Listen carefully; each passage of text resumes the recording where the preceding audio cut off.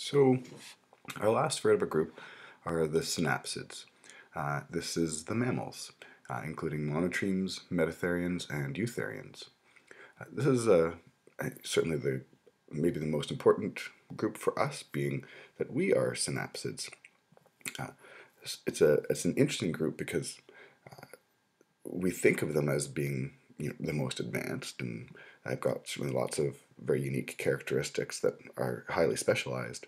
But uh, if you look at them in a sort of a success uh, uh, through evolutionary time sort of strategy, uh, it's really a relatively small group. You know, just a you know, a little over five thousand species. Uh, when you compare this to the birds, you know, 10,000 species, reptiles, 9,000 species, uh, you know, in terms of you know, diversity uh, and evolutionary success, uh, there are other groups that are um, maybe you know, more successful, if I could put that in air quotes, uh, than synapsids.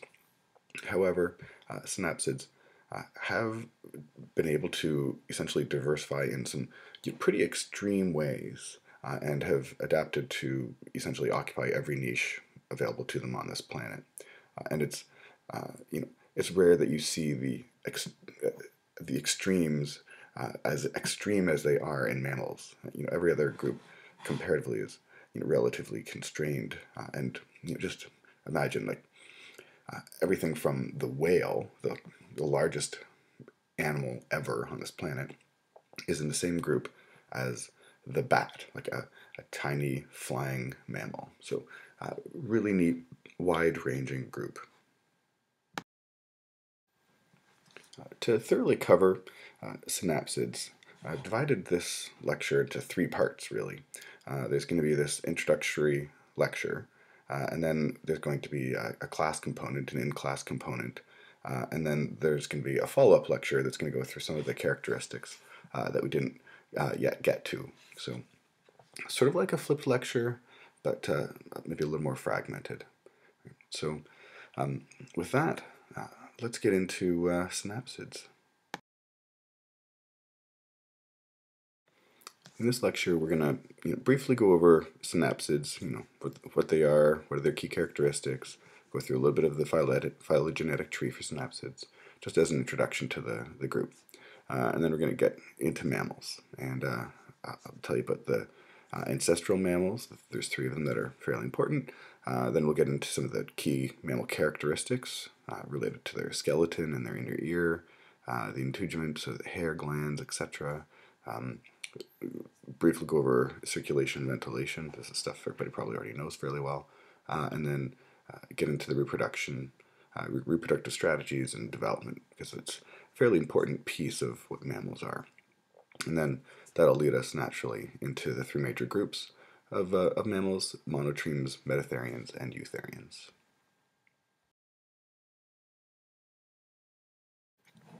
All right, so here's the phylogenetic tree of synapsids.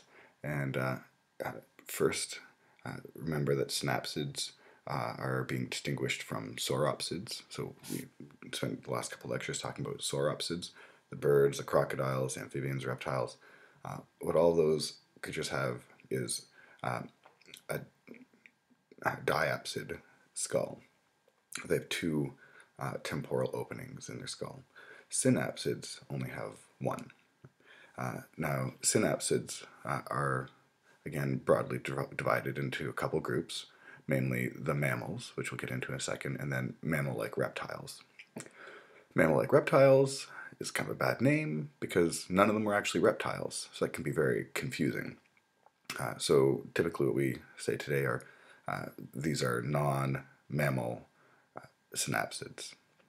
And there's, in the non-mammal synapsid group, there's pelycosaurs and then therapsids.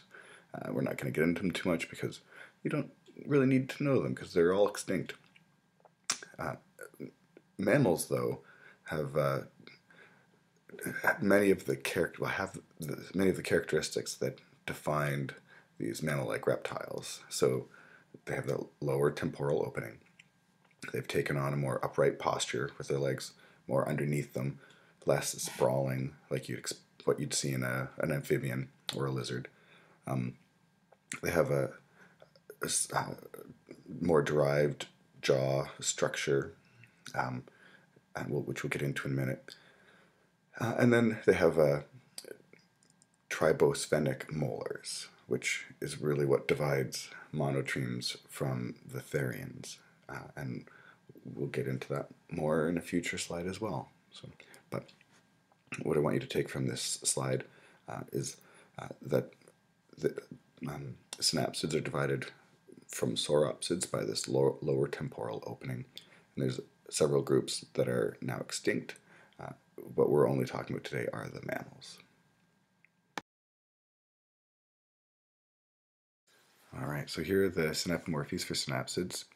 Um, they have what's called a dentary. Essentially, their lower, the bones in the lower jaw have been fused, where reptiles, essentially their lower jaw is a series of about seven bones. Here they've all been fused together into one. Uh, synapsids also have a single temporal opening. Uh, this is more obvious in more ancestral state. Um, more derived mammals, this uh, opening has basically been pushed down and out and has become the zygomatic arch.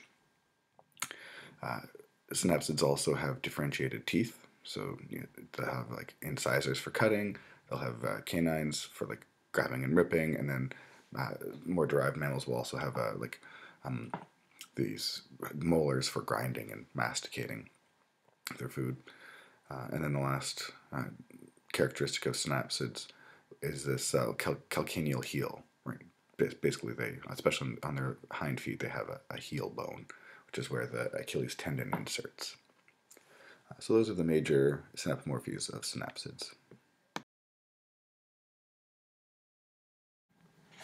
While uh, mammals are uh, very diverse, uh, there are several character characteristics that are pretty much universal for all mammals. Uh, and you know, some of these have been secondarily lost, but uh, here are the key ones.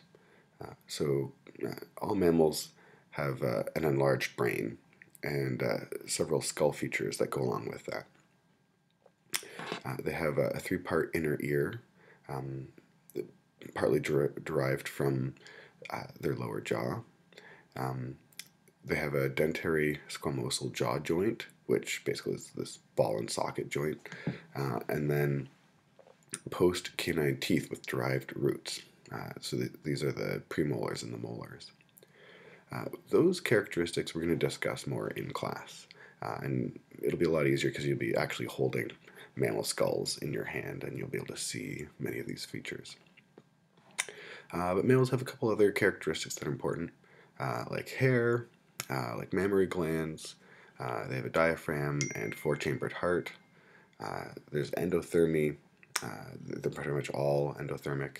Uh, they have enhanced olfactory senses uh, and viviparity. Most, with, with, one exception, one group, the monotremes, all give birth to live young, and uh, sex determination is genetic, where the females have XX chromosomes and the males have XY.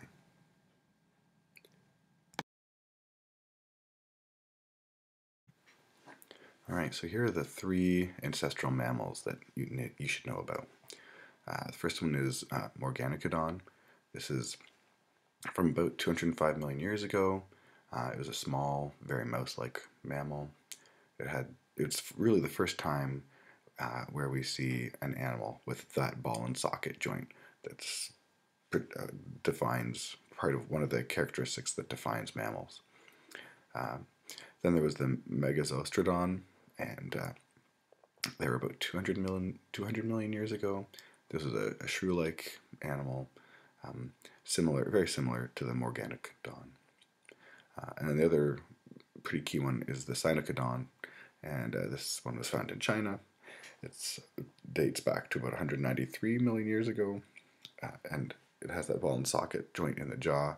Um, it also has the dentary where the lower jaw is completely fused what these three mammals represent uh, is basically the, the first appearance of something that has the most, if not necessarily all, but most of the synapomorphies that define mammals.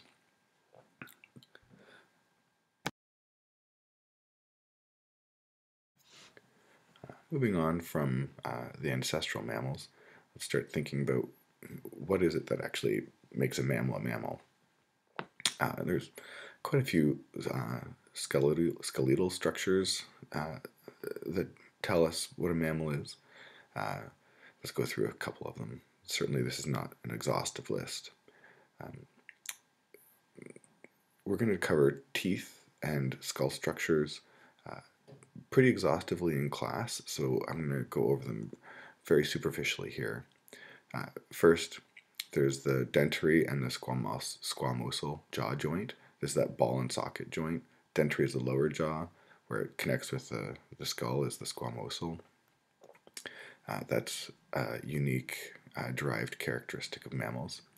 Uh, the post-orbital bar has been lost, so um, the bone that sort of divided the eye socket from the temporal fenestra has been lost. So it's basically the, where the eye is is joined with te that temporal fenestra. Um, the uh, there used to be ribs on the cervical vertebrae. So these are the vertebrae, you know, behind the head, running towards the body. Uh, those ribs have been lost. Uh, and then uh, the last, well, no, not the last. One of the next things to know is the teeth.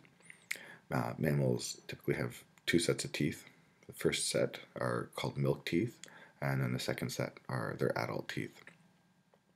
These teeth are typically double rooted uh, in the jaw, especially the molars.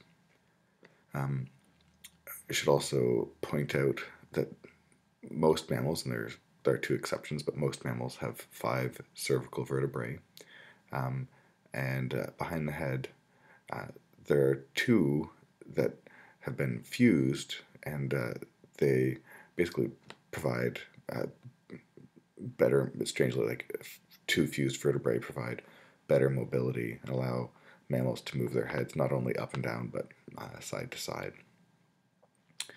Um, there's a variety of tooth morphology, but uh, basically we'll go through this uh, in class and we'll show you how uh, the teeth have become, uh, especially the molars, have become uh, basically more varied, have more texture to allow for better grinding.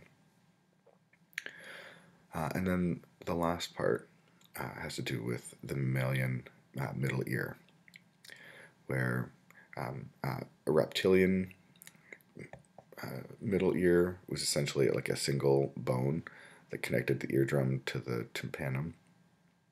Uh, that's not the case in mammals. Uh, in mammals, uh, there are three bones, uh, otherwise known as the ossicles, that perform this function. And um, the, these ossicles the, the malleus, the incus, and the stapes essentially are um, bones that in a reptilian skull would have been part of the, the jaw and uh, the skull have are no longer necessary in the mammalian jaw because the, the dentary is formed. So all the dentary in a reptilian skull had seven bones. In a mammal skull, five of those seven bones have been fused together. Uh, the remaining bones, not being needed for that purpose anymore, have uh, basically been repurposed to aid in detecting sound. Um, and the consequence is that with these these three bone structures in the middle ear, um, mammals can hear a wider range and they're more sensitive to sound in general. So mammals typically hear better than their reptilian um, ancestors. Uh, so I'm going to stop there with the skeletal structures, but we will cover most of this in more detail in class. Another place where there's been some really neat ad adaptations in mammals uh, is the integument. So the skin, uh, including hair, uh, the glands associated with the skin. Um, and in the next slide, we'll get into you know scales and horns and claws and hooves and stuff. Um, mammalian skin has you know, three layers. There's the outer layer, the epidermis. Then there's the the dermis, uh, and then below that is the hypodermis, uh, which is where the you know, subcutaneous fat uh, and like blood vessels and things run. Um, mammalian skin uh, is composed, and, and hair in particular is composed of alpha keratin. Uh, the outer layers are non-living, and um, the number of you know, dead uh, epithelial cells uh, varies quite widely in mammals. You know, some only have a couple cell layers thick, while others, like you know elephants or rhinoceroses, have like hundreds of dead cell layers protecting and guarding the body. Um, the hairs are also you know non-living, and uh, the hair can provide a, a variety of services. Uh, it can be insulation, it can be camouflage. Hair can be like uh, raised and be used in communication, and it can also act to a certain degree as uh, a layer of protection. Uh, hair can be uh, lost through molting and then regrown, and most hair will grow continuously. Some hairs are also used for sensation via uh, vibrissae, uh, which is just a fancy word for whiskers. Um, in the skin, there's also a variety of you know, nerve cells, like free nerve endings, uh, that can detect uh, pressure and pain. There's also heat receptors and cold receptors. Um, there's and then there's a wide variety of glands, and uh, these glands are pretty important. Uh, first are the eccrine glands. Uh, for most uh, mammals, find these glands mostly in the hands and the feet.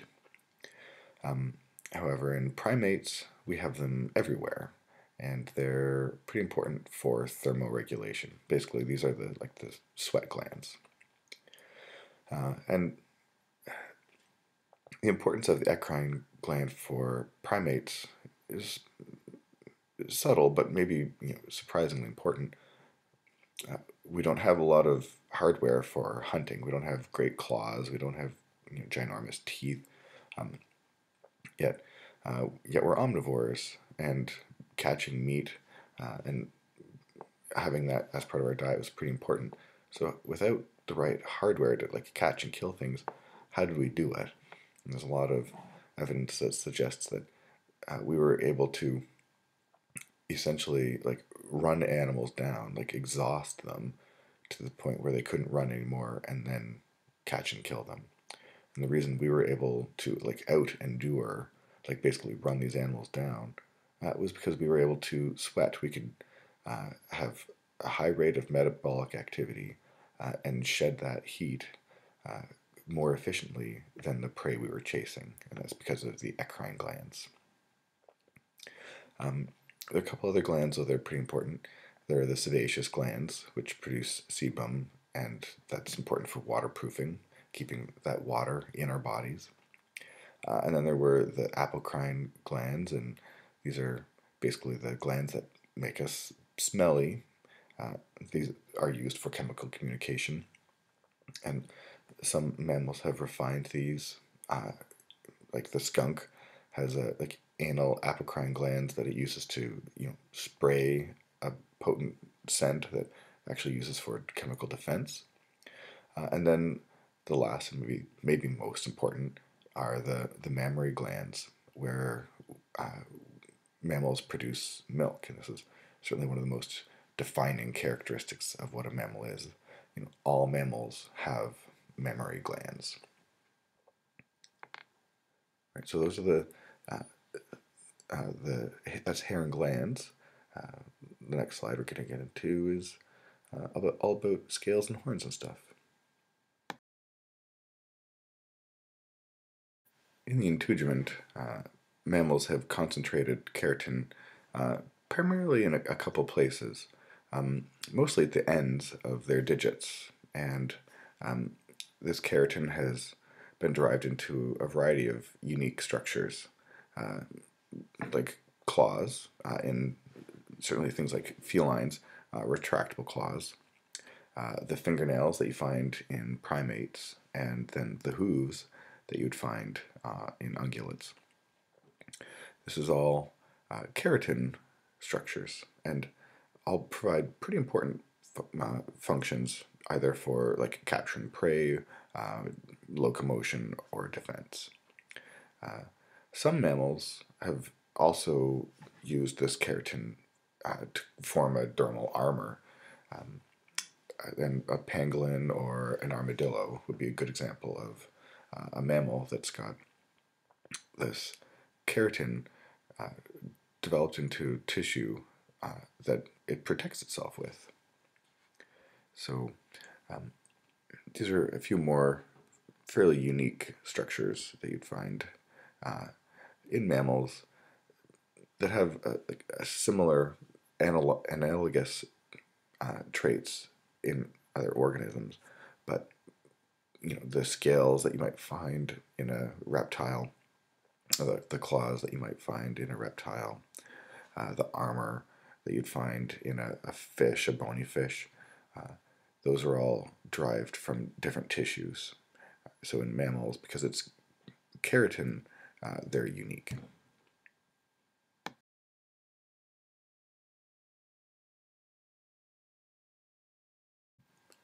Uh, circulation and lung ventilation is also derived in mammals, where mammals have a diaphragm that they use uh, in addition to costal or rib ventilation uh, to draw air uh, into their lungs. Uh, now, the other important anatomical structure here is the heart, where just like birds, mammals have a four chambered heart. and again, uh, the mammalian heart evolved independently of the avian heart, uh, even though they're very similar in structure. So, uh, derived traits here would be the diaphragm uh, and the four chambered heart. We're going to leave uh, derived traits of mammals at this point. we'll come back to them in class and in the follow up video lecture. Um, but I think that's enough for now. Let's talk briefly about the major uh, vertebrate groups, uh, sorry, the major mammalian groups. You can break the groups down into three categories. There's the prototherians, which would include basically all the monotremes, so the duckbill platypus and two types of echidna. Then there's the marsupials, uh, and these are things like the kangaroo and the koala, the possum, wombat, bandicoot, Tasmanian devil, and so on. Uh, and then the last group are the placentals, uh, and that's everything from pangolins, dogs and cats, deers and cows, whales, bats, rodents, lemurs, rabbits, armadillos, elephants, dugongs, and even the aardvark. So those are the three uh, major mammalian groups. In the next couple slides, we'll get into what distinguishes them from each other.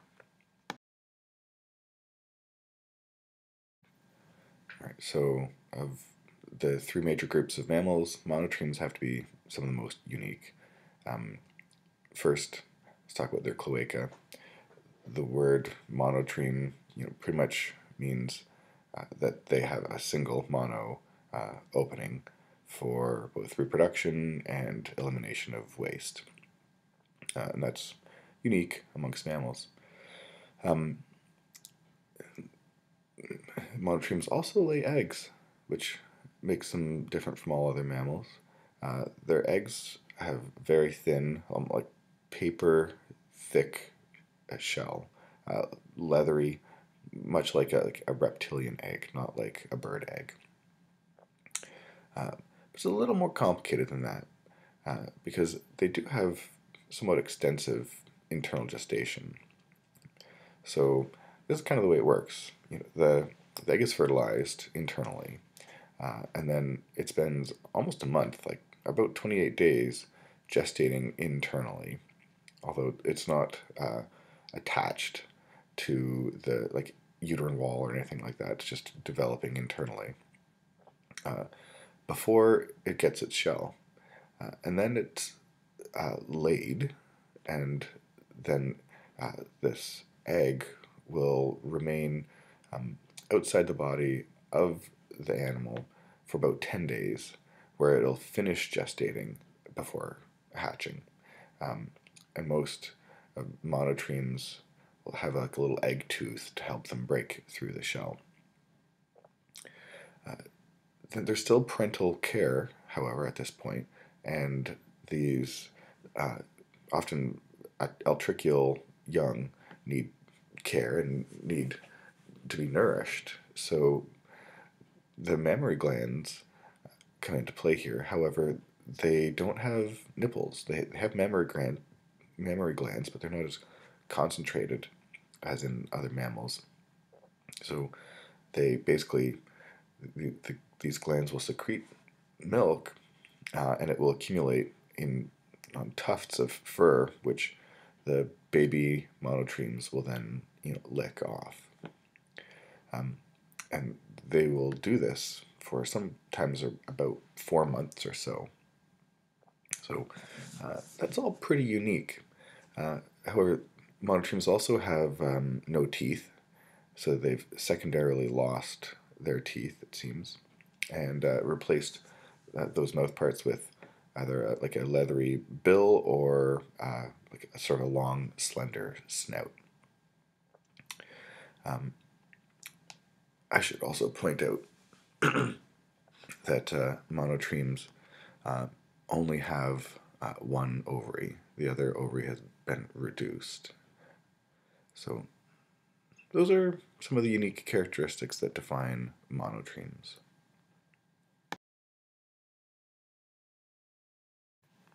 Next, we have the metatherians, otherwise known as the marsupials. Uh, these creatures uh, are superficially similar to uh, mammals you might be familiar with, um, or they are different in several important ways. We only have one marsupial native to Ontario, and that's the possum. So um, it's okay if you're somewhat unfamiliar with what makes a marsupial a marsupial.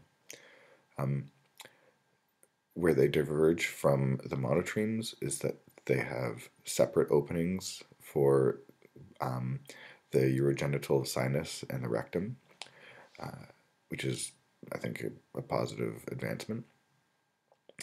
Uh, however, internally, female marsupials uh, are different in a very important way. Uh, they have two, in some cases, uh, three vaginas. Uh, the two lateral vaginas are for sperm delivery, and then the middle pseudovagina is for birth. Um, because of this unique internal anatomy, uh, male marsupials often will have a, a bifurcated penis. Um, so it's not it's not exactly that they have two penises. It's that the glans typically is bifurcated at the end of the penis. Uh, now, the way this plays out um, is important because um,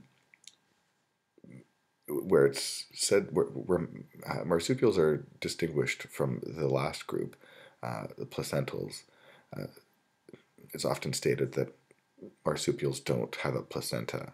Uh, and that's not strictly speaking true. They, they do have a, a simplified pl- placenta. So um, essentially, the egg is internally fertilized and uh, it gestates internally for 8 to 12 days. Uh, and usually the last couple days, last four, maybe five days, that uh, fertilized egg attaches to the uterine wall, uh, and while it's there, it forms a simple placenta.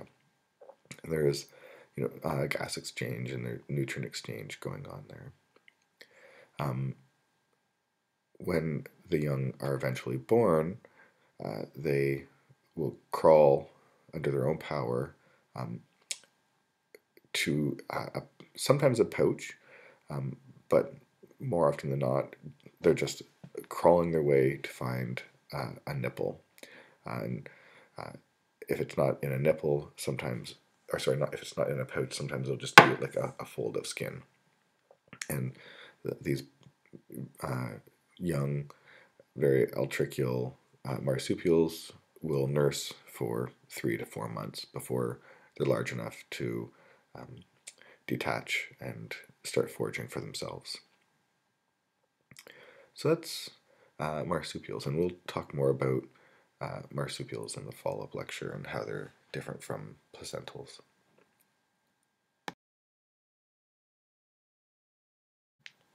And the last of the mammalian groups are the eutherians. These are the placentals, uh, and this is the group that we fall into, humans. Uh, so uh, placentals have a much longer gestation period than marsupials. Uh, however, that's typically shorter overall than the time uh, it takes marsupials to wean their young. So um, marsupials actually care for their young longer than placentals do, even though placentals are caring for their young uh, internally. Uh, so once an egg is fertilized in a placental mammal, this uh, amniotic egg attaches to the uterine wall. Uh, the uh, outer membranes of the egg um, that envelop the embryo uh, differentiate uh, into a, a, new embryonic organ called the placenta. Uh, and this placenta allows for longer internal gestation because it first it acts as a barrier that protects the the unborn uh, fetus from the mother's uh, maternal uh, immune system. But it also facilitates nutrient and gas exchange and uh, is really important for waste removal. So this uh, placenta is really important organ. Uh, gestation uh, internal gestation can last for weeks, uh, if not years. Uh, elephants will have internal gestation for up to two years. Once a baby is born, uh, the lactation and parental care period can last for several weeks to, to several years, maybe even you know decades if you consider humans. So uh, that, that's the eutherians.